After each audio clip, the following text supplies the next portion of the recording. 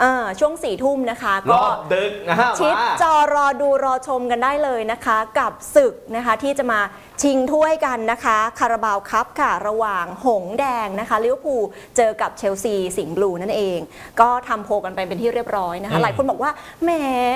ลิเวอร์พูลก็เบาๆหน่อยก็ได้ เพราะว่าเชลซีเขามีความดีความชอบนะ เออนะคะเขาไปแบ่งแต้มกับแมนซิตี้เพิ่งมาตัดแต้มแมนซิตี้มา แล้วใช่ทำให้ลิเวอร์พูลเนี่ยกลับมาอยู่ในสถานการณ์ที่เป็นจ่าฝูงอีกครั้งหนึ่งใช่นะครับนะคะต่อให้แมนซิตี้เก็บชัยชนะในช่วงสุดสัปดาห์เนี่ยยังไงก็ไล่ลิเวอร์ไล่พูลไม่ในสัปดาห์ทันนี้ยังไม่ทันเอเอออนะคะ แต่ สภาพทีมในตอนนี้ค่ะต้องบอกว่า โอ้โห ตัวเจ็บเนี่ยเยอะมากเลยโดยเฉพาะลิเวอร์พูลนะคะ คือเรียกได้ว่าเราจะเห็นได้เลยว่าเกมที่ผ่านๆมาเนี่ยก็จะมีการเลือกใช้เลือดใหม่ หรือว่าเด็กปั้นที่ออกมาลงเนี่ยเยอะมากขึ้นนะครัคะบเพราะว่าตัวเจ็บเยอะ แต่ว่าเชลซีก็ยังมีตัวเจ็บเหมือนกันนะคะ เพราะว่าแบ็คขวาอย่างรีซ เจมส์ อืมเนี่ยนะคะ คือเขามีโอกาสคืนสนามมาแล้วนะคะ หลังจากที่โดนถอดออกตั้งแต่เกมลีกที่แพ้เอเวอร์ตัน 0-2 อะ 10 ธันวาปีที่แล้วอย่างเงี้ยค่ะ ครับ ก็ยังไม่ชัวร์ คืออาจจะกลับมาได้แต่ไม่รู้ว่าได้ลงเต็มเต็มที่หรือเปล่า ในขณะที่คนอื่นๆค่ะ คานี่ชูกูเมกาเจ็บข้อเท้า เบอนัวต์ บาเดียชิลนะคะ ก็เจ็บกล้ามเนื้อ โรเมโอ ลาเวีย เจ็บต้นขา อืม โรเบิร์ต ซานเชสอ่าซานเชส เจ็บหัวเข่า กูกูเรย่าเจ็บข้อเท้าอีกนะคะ แล้วก็เวสลีย์โฟฟาน่าเจ็บน่าจะเป็นเหมือนเอ็นไขว้หัวเข่าอะค่ะอืมแล้วก็มีเลสลี่อูโกชูกูเจ็บกล้ามเนื้อครับก็ยังอยู่ระหว่างการพักฟื้นรอเช็คฟิตร่างกายอีกครั้งหนึ่งนะคะ แนวรุกตอนเนี้ยก็คาดว่ากุนซืออย่างโปเช็ตติโนเนี่ยอาจจะตั้งชั่งใจอยู่ว่าจะใช้ใคร นิโคลัสแจ็กสัน เล่นต่อเนื่อง หรือจะเปิดทางให้กับคริสโตเฟอร์เอ็นกุนคูที่เป็นอืมกองหน้าตัวเป้า เพราะว่าจริง ๆ แล้วเนี่ยเชลซีกองหน้าตัวเป้าแบบจริง ๆ เลยเขาก็ไม่ยังไม่มีนะอืมคือเออเขาใช้ระบบ false nine แก้ปัญหาค่ะนะครับ ก็ดึงนิโคลัสแจ็กสันเข้ามา แต่ไปไปๆมาๆก็ไม่ใช่หน้าเป้าที่ผลิตสกอร์ได้มากมายอะอืมช่วงหลังๆมาถูกขยับไปเล่นทางริมเส้น กลายเป็นว่าทำผลงานได้ดีกว่า การเป็นการเป็นกองหน้าตัวเป้าซะอย่างนั้นนั่นโอ้น่ะนะครับเขาเล่นแบบ false nine แก้ปัญหาด้วยการให้เอ่อ ทางโคล พาลเมอร์นะไปเล่นนะค่ะตัวเนี้ยแสบนะฮะอืมเชลซีเนี่ยผมว่านะในเกมนี้นะ คือถ้าหากว่ามีโคล พาลเมอร์อยู่ในทีมอืมนะฮะจับตาดูให้ดีครับสำหรับคนนี้ ถ้าเขาเล่นออกเล่นได้เล่นดีลิเวอร์พูลเหนื่อยเหนื่อยหนักเลยล่ะว่าอย่างเหนั้นนื่อยเออนะคะ เพราะจริง ๆแล้วเนี่ยอย่างเชลซีอย่างเงี้ยถ้าดูในลีกนะ คือบทจะแพ้ก็แพ้เลยอะ แพ้วูฟคาบ้านอย่างเงี้ยอืมสี่สองอย่างเงี้ยนะคะแต่บทจะยันอยู่เขาก็เอาอยู่จริงๆนะแมนซิตี้หนึ่งหนึ่งแต่แต่ช่วงหลังๆมาเขาเริ่มแพ้ยากขึ้นนะ ใช่ ลองลองสังเกตดูดีๆสำหรับเชลซีค่ะนะแล้วผมตั้งข้อสังเกตไปขึ้นไปอีกนะฮะไอเกมที่เขาพวกเขาไม่แพ้เนี่ยนะฮะสองสามเกมหลังสุดเนี่ยนะสำหรับเชลซีเนี่ยอ่ามันอาจจะเป็นเพราะว่าไม่มีติอาโกซิลวายืนแนวรับก็ได้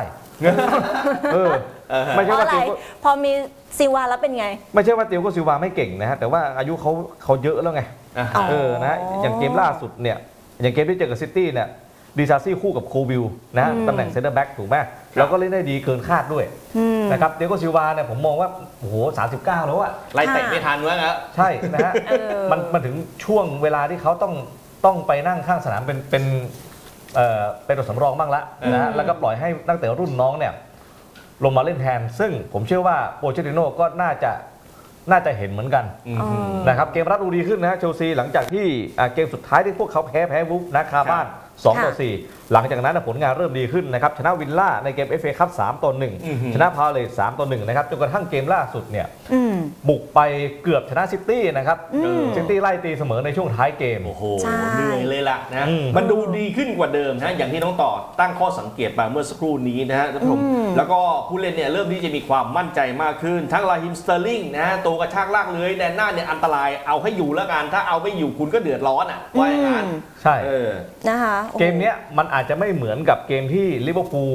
อัดเชลซี 4 ต่อ 1 ในแอนฟิลด์นะอืมผมว่าอะไรหลาย ๆ อย่างเขาน่ามัจะเปลี่ยนเปลี่ยนไปเออนะครับ อย่างแรกเนี่ยก็คือว่าลิเวอร์พูลตอนนั้นเนี่ย full team มากกว่าตอนนี้อะค่ะเออนะฮะว่าตอนเนี้ยมันก็มีผู้เล่นบาดเจ็บเพียบเยอะเลยโอเคบาดแล้เจ็วบว่าเพียบเลยใช่นะโอเคแล้วว่าฟอร์มดีขึ้นนะ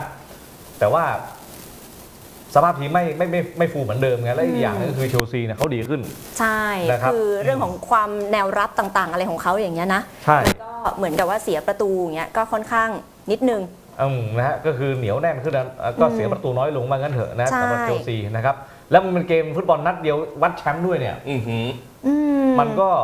บรรยากาศมันจะต่างไปจากฟุตบอลลีก โอ้โห ใช่นะใช่ใช่นี่ค่ะเตะที่เตะที่เอ่อที่เวมบลีย์นะไปที่สนามกีฬาแห่งชาติเวมบลีย์นะครับครับ ใช่ค่ะ อย่างลิเวอร์พูลอย่างเงี้ยที่พี่ต่อเป็นไงบอกเมื่อกี้ ว่าตัวเจ็บอะมันเยอะคือบางคนอาจจะไม่ได้ห่วงเรื่องของแผนแท็กติกอะไรต่างๆ เพราะว่าเข้าใจอยู่แล้วว่าเจเกนคลอปเป็นคนที่เป็นเหมือนแบบโค้ชนักแก้ครับแก้เทคนิคต่างๆ เนี่ยเขาทันอยู่แล้ว แต่ตัวเจ็บที่เยอะเนี่ยมันอาจจะทำให้ตัวเลือกในการจับลงอะน้อยนะคะใช่อย่างเกมก่อนหน้าเนี้ย ก็ไม่มีชื่อของบังโมโมซาลาห์นะคะอือหือกับดาร์วินนูนเญซ ก็ไม่มีชื่อลงลงทั้งตัวจริงตัวสำรอง แล้วเราก็มีการไปสอบถามนะ ผู้สื่อข่าวก็สอบถามคล็อปป์อะไรอย่างเงี้ยว่าเออมีโอกาสจะได้ลงไหมคล็อปป์ก็ไม่พูดอะไร บอกว่ามีตัวเจ็บเยอะ และตัวเจ็บคนอื่นๆ ซึ่ง ต้องรอเช็คฟิตเนี่ยก็น่าจะเป็น 2 คนเนี้ยแหละอ่าอืมหรือว่าเขาจะอุบเอาไว้แล้วก็รอลงในในวันอาทิตย์นี้ก็ไม่รู้นะ ที่แน่ๆเออเนี่ยคือประตูเนี่ยคือก็เป็นเคเลเฮอร์นะที่ลงใช่คือเคเลเฮอร์ค่ะเนี่ยเขาให้โอกาสลงเล่นในแมตช์นี้อยู่แล้วใช่ขอให้อลิซงไม่เจ็บนะครับอลิซงก็ไม่ลงอยู่แล้วใช่ใช่นะคะอย่างอย่างอย่างนัดล่าสุดของลิเวอร์พูลที่เตะกับลูตันเนี่ยนะครับผมเชื่อว่าแฟนแฟนหงแดงเนี่ยลุ้นกันใจหายใจความว่าเฮ้ยอย่าเจ็บนะ อย่าเจ็บนะเออออะไรอย่างเงี้ยนะฮะโอเคมันก็รอดไปได้ก็ไม่มีใครบาดเจ็บเพิ่มเติม ใช่ นะคะเออแต่ว่านอกเหนือจากนี้เนี่ยอย่างอะโดมินิกโซบอสซไลเทรนต์อเล็กซานเดอร์อาร์โนอะไรอย่างเงี้ยนะ ก็ไม่รู้จะได้ลงหรือเปล่า แต่เขามีข่าวนะ ว่ากลับมาลงฝึกซ้อม อาจจะต้องรอเช็คฟิต หรือไม่ก็อาจจะต้องลงเป็นตัวสำรองไปก่อนอะไรแบบเนี้ยนะคะเออโอ้หลายตัวเจ็บกันหลายตัวเลย หลายตัวนะฮะแต่ว่าลิเวอร์พูลยังยอดเยี่ยมนะในเกมลีกเนี่ยนะใช่ฮะยังเดินหน้าชนะทีมอื่นอืมๆเป็นว่าเล่น ถึงขั้นใช่ต่อเวลาไหมต่อ มีโอกาสครับมีโอกาสผมอ่า ผมคิดว่าเชลซีหรอ ไม่น่าเปิดแรก จริงเหรอคิดว่าเชลซีไม่น่าที่ที่จะน่าเปิดคิแรดกว่าเขาแบบจะมาแล้วใส่ใส่เพราะว่าโอ้ ลิเวอร์พูลอะน่าจะน่าจะรับแบบระวังอะเล่นระวัง ถ้าใส่เลยเนี่ยผมบอกอ่าได้เลยว่าเข้าทางลิเวอร์พูลนะครับ อ่า หลังหรอดันสูงเมื่อไหร่นะและเกมรุกลิเวอร์พูลน่ะเล่นกับกองหลังที่ดันสูงแบบเนี้ยอืม ได้ดีมากนะครับอืม เขาเล่นเขาเขาเรียกว่าอะไรเกมรุกของเขาเนี่ย วิ่งเช็คไลน์ดีมากอืมอืมนะฮะเช็ค VR มาเนี่ยมันไม่ล้ำหน้าตลอดเลยอะวใช่ลลิวคือร์เขาพูลเคลียร์ได้ประตูอะกันแบบดีเนาะใช่นะครับเขาซ้อมมาดีนะครับ และตัวเออเปิดเนี่ยเขาก็เปิดดีด้วย เปิดแนวใช่ลึกอะนะฮะดังนั้นด้านหลังดันขึ้นสูงนะฮะแล้วเล่นแบบไม่ละเอียดขึ้นมาเนี่ยเอออืมมีโอกาสโดนใช่ผมว่าคุณนี่มีโอกาสยืดเยื้อถึงการต่อเวลาอืมนะฮะอืมไปวัดกันตรงนั้นอะนะว่าค่ะว่าใครจะยืนระยะได้ดีกว่ากัน ใช่ก็มองกิ๊กมองยังไงกิ๊กก็มองว่า แต่กิ๊กไม่แน่ใจนะ คือตัวกิ๊กอะมองว่าน่าจะจบในเกมอ่าฮะอืมเออแล้วก็ลิเวอร์พูลอาจก็ต้องชนะแน่นอนอ่าเออใช่นะครับนะคะ คืออาจจะจบในเกมก็ได้นะฮะอืม เพียงแต่ว่าไม่ได้ มันเกมมันยังไม่ขาดลอยเหมือนกับที่ลิเวอร์พูลชนะมา4-1อะอ่ามันอาจจะยังไม่ขาดลอยแบบนั้นหรอก เอออม นะฮะก็ต้องเพราะไปว่าติดตามดู ต่างฝ่ายต่างก็จะต้องเปลี่ยนแผนเปลี่ยนแท็กติกต่างอืมๆด้วยนะคะ เพราะว่าใช่อย่างเวลาคล็อปป์อย่างเงี้ยเขาถ้าทีมมาถึงขั้นที่ว่าจะคว้าถ้วยแล้วอย่างเงี้ยเขามักจะเล่นเกมใหญ่ ๆ ที่มันแบบ ดูดูไม่ได้บุกหน้าแรกหรือว่าอ่าไม่ได้แบบมันหยดขนาดนั้นเออใช่ จะดูเล่นแบบระวังมากกว่า แล้วแล้วเชลซีเนี่ยนะฮะเอ่อโปรเชติโน่เนี่ยนะฮะเก้าอี้ยังร้อนอยู่นะเออ แม้ว่าหลังๆมาเนี่ยมันจะเย็นขึ้นเออนะฮะแต่มันก็ยังมีความร้อนอยู่นิดนึง ใช่นะครับ คือถ้าไม่ได้แชมป์รายการนี้ขึ้นมาเนี่ยผมว่าจะกลับไปร้อนอีกครั้งหนึ่งใช่จะกลับไปเป็นเต็งหนึ่งด้วย เพราะว่าเต็งหนึ่งตอนนี้เขาไปแล้ว เออ ก็คือรอยใช่พักสั้นอืม ที่ผ่านมาโปรเชติโน่เป็นเต็งสองมาโดยตลอดอืมทีเนี้ยพอสถานการณ์เนี่ยมันกลับมาแพ้อีกครั้งเนี่ยผมเชื่อว่าเอ่อ กุนซือเต็งหนึ่งที่โดนเด้งเนี่ย Pochettino มันจะกลับมาเป็นโปรเชติโน่อีกครั้งหนึ่งใช่มันมีประเด็นนิดหนึ่งท่านผู้ชมครับนะเลทราบนะครับว่าในในช่วงก่อนหน้าการแข่งขันเนี่ยทางด้านของท็อดด์ โบห์ลีซึ่งท็อดด์ โบห์ลีนี่ก็เป็นเป็นเศรษฐีชาวอเมริกันอืมซึ่งเข้ามา take over เชลซีเนี่ยนะครับเขาบอกว่าได้มีการอัดฉีดนักเตะเชลซี ถ้าหากว่าได้แชมป์รายการนี้อืมนะได้ถ้วยมาประดับสโมสรเอาไปเลยคนละ 22 ล้านใช่บาทนะ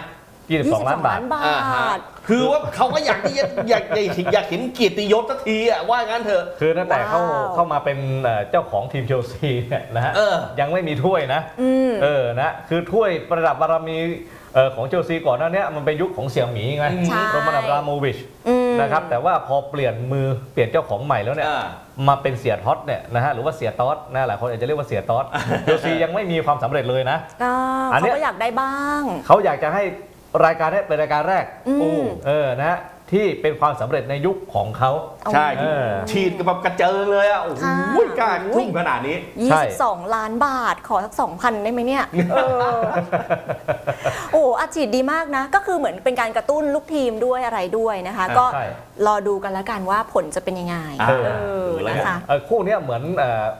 คอลัมนิสต์ของสยามสปอร์ตของเราเนี่ยอย่างพี่ค่ะ แจ็คกี้อดิสรณ์ พึ่งยานะเขาเขาจะเดินทางไปดูด้วย อ่าฮะอืมเออนะ หลังเกมเนี่ยเราน่าจะมีคลิปจากพี่แจ็คกี้นะมาให้กับทุกท่านได้ติดตามกันในวันจันทร์ได้ บทสรุปนะครับ ใช่ใช่ค่ะ โอ้โห บรรยากาศก็คงคึกคักแน่นอนอะ อืมเออนะคะนะฮะ พร้อมเสิร์ฟถึงหน้าจอทุกวันกับรายการสยามกีฬาเดลี่ พบกันทุกวันจันทร์ถึงศุกร์เวลา 12 นาฬิกาเป็นต้นไป ติดตามได้ทาง YouTube Facebook สยามสปอร์ต และ YouTube สยามกีฬา